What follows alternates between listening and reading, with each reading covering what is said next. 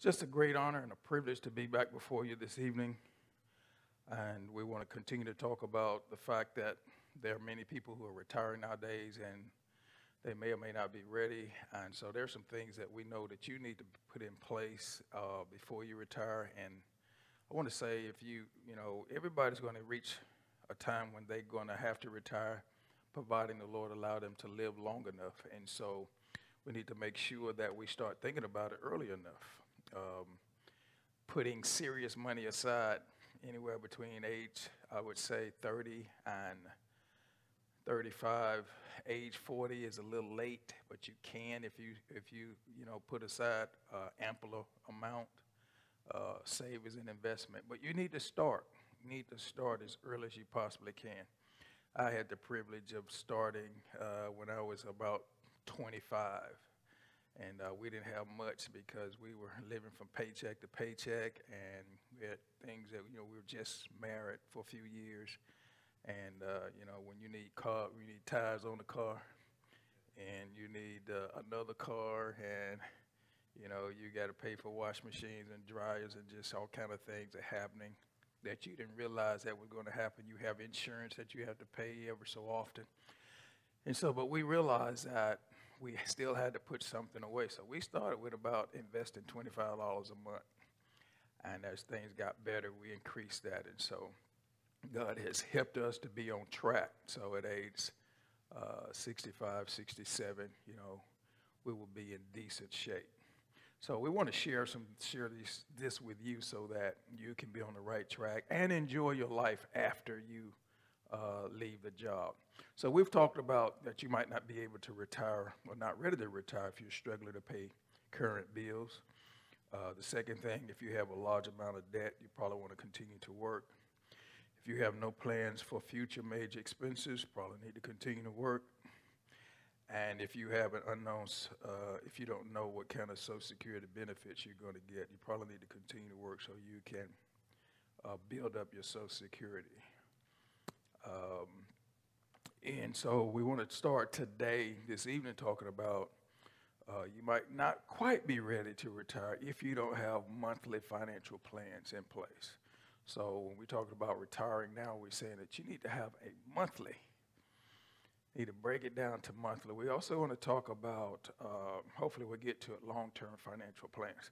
So let's look at let's look at uh, monthly financial plans. Once you retire, you have to understand that your paychecks stop arriving. But guess what keeps coming? The bills keep coming. The bills keep showing up. And so you have to realize that you don't have as much money now. So you have to um, you have to map out your monthly cash flow before you retire. So before you retire, you got to see what do you have left after paying your bills. Be, even before that, you need to decide um, well, you know, can can I can I pay my bills? You know, and you have to you have to average in. You know, when you come to utility bills, you have to understand, and uh, you should know this by now if you own a home or if you you rent or whatever.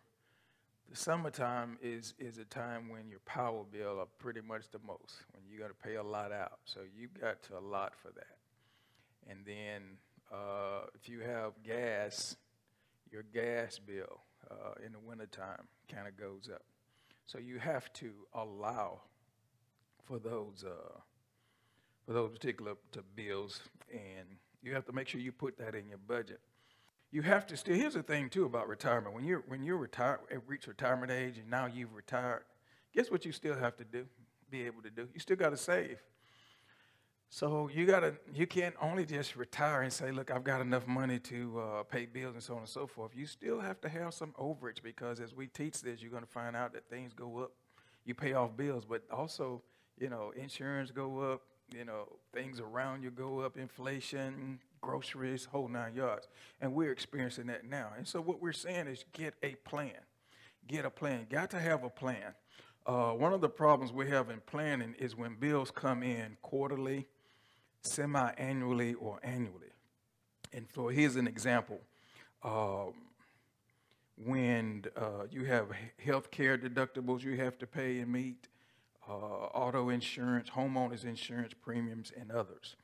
So this is what I did, and I didn't know anything about budgeting. I just started this when I was uh, first got married.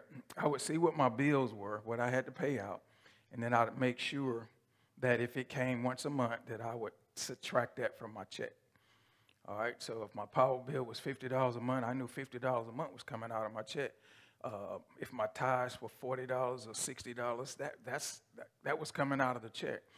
Now, what I had to realize is that there are some bills like health care, or should I say auto insurance, that you might pay every quarter, uh, once a quarter, or you have homeowners insurance, you might pay twice a year. And this is where people get tripped up. You have to find out if you're paying, if your auto uh, is so much per quarter or per, or you have bills that's like every six months, you still have to say, look, what do I have to put aside every month to meet that obligation? Okay? Because if, if, if, if, if my, for instance, if, if, if I pay quarterly on a car insurance, uh, that means, and my car insurance is $300 every quarter, that means I got to divide that by three. So every month, okay, a certain amount has to come out of my paycheck. So when it's time for me to pay that insurance on that quarter for quarterly, this quarterly due, then I'll have it. Uh, same way with uh, semi-annually. Um, if I know something is $600, I pay $600 every six months, then guess what I got to save? Every month I got to pull out $100 for that particular bill. Okay, that's how you add up. Or if it's something that, if it's $1,200 a year and I pay it one time, guess what I got to do? $100 per month. Okay, and a lot of people, they don't do that. They act like, well, I'll just pay that when it comes. Guess what's going to happen?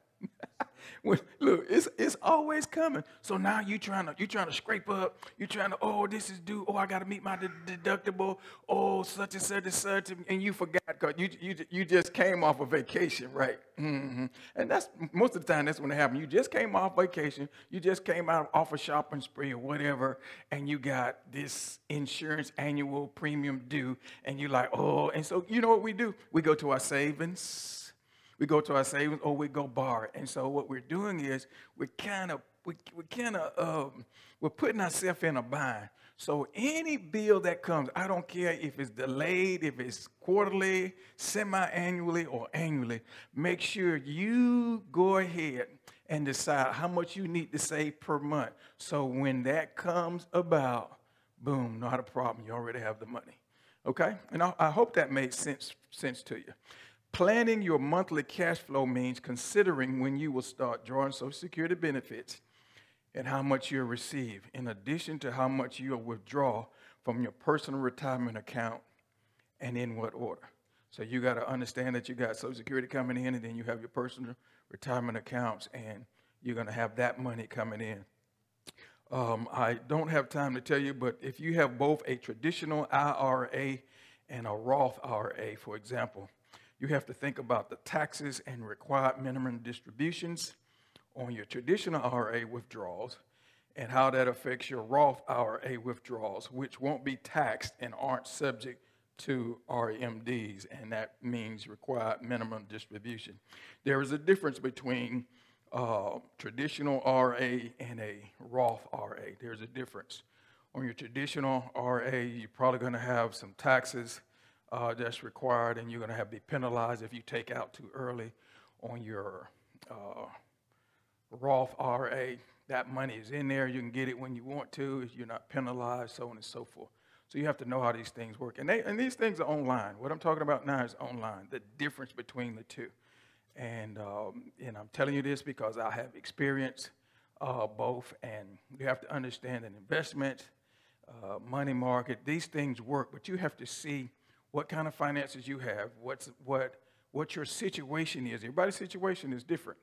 And you have to pick, you know, a vehicle, a, a uh, investment vehicle that's going to best suit you for the money that you make, for your age, you know, for your, your you know, you got to factor in your health. You got to factor in a lot of things, your long goal range and, and so on and so forth. Okay? So, having a monthly plan also means having a solid understanding of your expenses. Having a solid understanding of your expenses. Some expenses may go down, all right? For instance, debt they, that may soon be paid off. If you paying on a, let's say you got a loan for your vehicle, or you have a loan for furniture, uh, or a boat, motorcycle, you know, you know, uh, some tools that you bought, you're probably going to pay that off. Eventually, you will pay that off, and that's fine. So, so you have money. Uh, that's extra money, but don't go and spend it. Save it, okay? Whereas others, such as healthcare costs and travel and recreation expenses, may go up. And that's why you can't just spend the money that you just you just paid them loans out with and you got free money. You don't have any free money. You better save because I'm telling you right now, the washer and the dryer is on his way out. And so you have to make sure, you have to make sure that if if the Lord blesses you to pay off uh, loans, then you know you take that money and you save it. Okay, knowing what your expenses will be means knowing how much income you will need coming into the house. You got to have a certain amount of income coming into the house. Now, I want to say this. Everybody, by the time you reach a certain age, especially retirement age, that ought to be two, two or three other things that you know how to do that can bring in income. Nobody should retire and have to depend on Social Security and their retirement from their job and not know anything else to do. Now, here's the deal you can't be a lazy person. Okay, you can't say, well, I'm retired and I'm done and I know how to do such and such and such and such, but I'm not doing it. Well, if you can do it, because first of all, after you retire, you need something that's constructive because God has prepared and made us to where He has built us as far as our mind and our spirit and our giftings that we're always giving out. We're always helping. We're always doing. That's how we're made. God created us that way. So you need to find something that you're good at that you can receive. You don't have to try to charge folk and you know beat them out of their money. And but I'm just saying uh, something that you're good at that you can help somebody and make extra money in. Those the thing. Those are the things that you need to do. You need to always say if you don't need it. Well, if you don't need it, make the money and help somebody else that might need it. You know, buy somebody else something every now and then that, that they might need because they they having hard times or they can't make ends meet this particular month or so on and so forth. And I, you know, I thank God that He has blessed me to do a lot of things. And I know people, some people used to, they used to tease. They say, "Well, he's the ma- he's the jack of all trades, master of none." Well, I don't believe in that saying. I believe in that God will give you giftings and abilities and talents to do a lot of different things, and the more you do them, the better you get. And you will save money for yourself, and you'll save money. You'll help other people save money and there's nothing wrong with it. And so you gotta you'd be surprised the things that you can do if you just took time because you're retired now. So you have time to be patient. You have time to sit and study, sit and learn, sit and uh, you know figure out and analyze. You know, there's a lot of things on the internet. Man, you can go to YouTube and just about learn how to fix anything.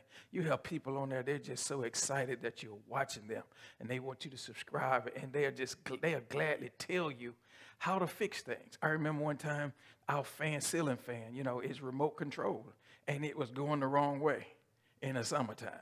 So that means it wasn't working right. I mean, the heat was coming down rather than, you know, doing what it's supposed to do. And I looked at the other fan, and the fan, I saw a fan in our great room was turning in the wrong direction, and I didn't know how to to reverse it. The remote, it none. So I went on YouTube, and all I had to do is simply flip a switch and hold something, and boom, change directions you know. And sometimes, and sometimes, you know, we've been in a hurry. We want to do things right away. We want to get it fixed right away. But we we should have lived long enough to understand that when you take your time, because God gives us peace of mind and He gives us strength and He shows us a lot of things. So when you take your time and work through it, you learn, you save money, you get the knowledge, you help somebody else, whatever you learn over here, you can take it and apply it over here.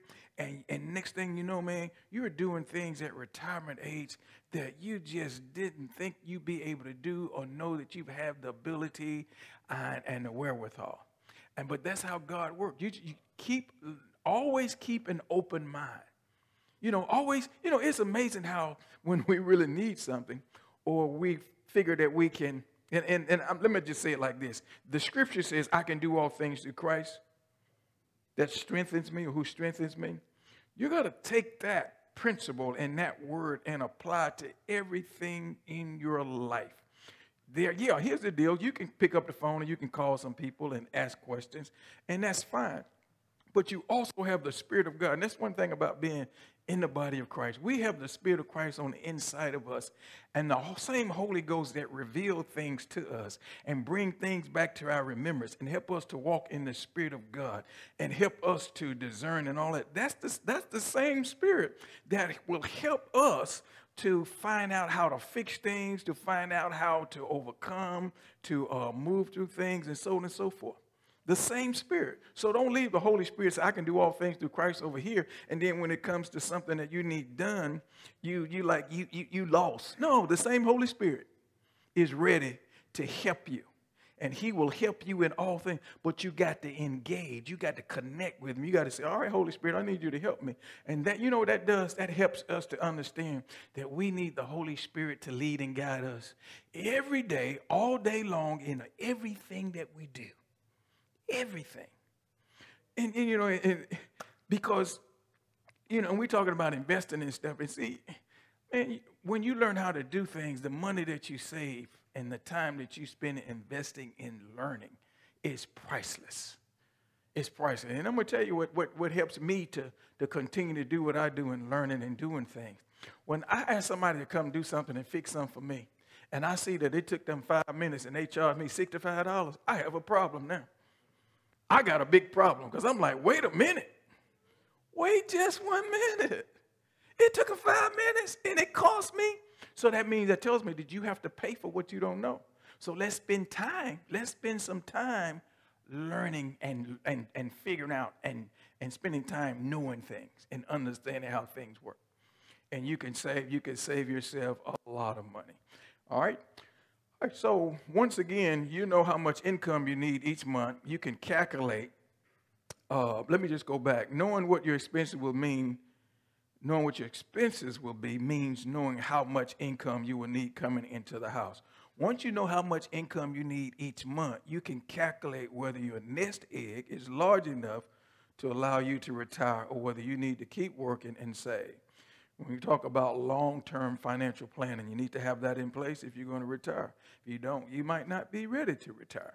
You should understand how long your, servant, your savings will last and what spending level you can maintain over the coming decades. So you got to learn how, even if you got savings and investments, you got to figure out how long is this going to last. No one knows exactly how long they will live, but expanding life's spans and the increasingly high cost of long term care may mean your portfolio will have to last longer and stretch further than you once thought. In all actuality, you need to plan for your retirement to last 30 years or more. So at age 65, you still need to be planning that your retirement will last 30 years past that. That, that, that's, that's a point to shout on right there because you're looking to be way up in your 90s. And so, based on t- statistics, um, for a couple retiring at age 65, there is a 50% probability that at least one will live at uh, will, will, will be living at age 92 and a 25% probability that at least one will be alive at age 97 so here's the point. So so so here's the point. Finally depending on your health your portfolio composition and your risk tolerance, you will need to come up with a plan for the percentage of your access you you spend each year, which might means getting help from a professional financial planner. So you don't don't wait till you know you get to retirement age and then you want a, a financial planner to come in and tell you what you need to do. You need to be doing that right now, age 35, no later than 40. And understand that um, you, you have to understand that you're probably gonna you're probably gonna live a while. And what you want to do is you want to live comfortably. You want to plan now. You want to plan now. Over in Matthew chapter 25, verse 14 through 30. Uh, we're not going to read this. I just want to kind of tell you about it. Everybody know this. This is the parable, Matthew 25, 14 through 30. It's, it's the parable uh, of, the, of where, you know, you have the talents. And the question is, what principle can we learn from this based on what we're teaching now. And so the thing is that I get from these scriptures where uh, the man came in and he uh, gave five talents, two talent, one talent. He said, I'm coming back. And so the guys with the five invested, one with the two invested, one with the one put it in the ground. Okay? And so God wants us to plan for our future by investing now. You have to understand that. That type, that got to plan for your future. God has given us giftings. All right? And if he wants us to plan, if it's if it's if it's a good thing naturally to plan, well, if it's if if we're planning to do what we need to do to go to heaven, and we are vesting in spiritual things so that we can have rewards when we get to heaven, we also need to do that here on earth because as we live, God wants us to make sure that we're, we're taking care of ourselves. And so the way of the kingdom is to, is to take the resources God has given us right now and invest them whereby they can yield a greater return in the future. So it's all about planning and investing. Planning and investing. Why? So that you can get a return in the future. And so this means both in our spiritual and natural life, heavenly and earthly. We plan to store up treasures for heaven so we can benefit from them in eternity. Likewise, the way to practice for heaven is to walk it out in the natural. And so we must make sure that we continue. Now, I know, you know, this might not be hoopla and exciting and, you know, people swinging from the rafters, and but you have to understand that that information and teachings like this and ministry like this will help revolutionize your life, put you on the right point, have you headed in the right direction, practicing the right things at this time of your life, so that when you become retired at retirement age, you will be able to continue to enjoy your life. Thank you so much for listening. If you understand this information, please share it with others, and we'll see you next time. God bless you.